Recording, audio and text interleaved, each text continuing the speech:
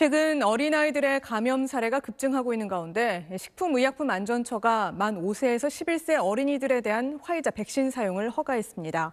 이르면 다음 달 중에 백신 접종이 시작될 걸로 보이는데 부모들의 마음은 복잡하기만 합니다. 박수진 기자가 보도합니다. 영유아나 어린이 전용 코로나 의료 상담센터엔 요즘 재택 치료 상담 전화가 끊이지 않습니다.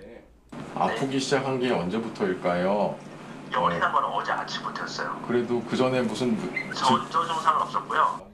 오미크론이 확산하면서 백신 접종 대상이 아닌 어린이 확진자가 크게 늘었기 때문입니다. 9살 이하의 확진자는 점차 증가해 지난주 인구 10만 명당 282.8명으로 전 연령대에서 가장 많았습니다. 식약처가 사전 검토 두 달여 만에 5세에서 11세 대상 화이자 백신 사용을 허가한 것도 이런 확산세가 영향을 미쳤습니다. 5세에서 11세 대상 화이자 백신은 12세 이상의 허가된 백신과 종류는 같지만 용량은 3분의 1이고 접종은 3주 간격으로 두 번 이뤄집니다. 임상시험 결과 예방 효과는 90% 이상이었습니다.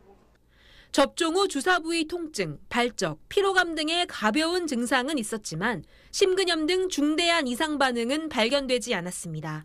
하지만 접종을 앞둔 부모들은 마음이 복잡합니다. 반반이에요, 사실. 이게 확실하게 그 뭐라 그럴까요? 안정성이 보장됐으면 모르겠는데 그게 case by case잖아요. 사람마다 틀리고. 선택권을 줘야 되는 것 같아요. 아직 너무 어리잖아요. 그래서 부작용이 어떻게 발생될지도 모르고 면역 체계가 아직 제대로 잡혀 있지 않으니까. 질병청은 구체적인 접종 시기와 대상을 다음 달 발표할 예정입니다.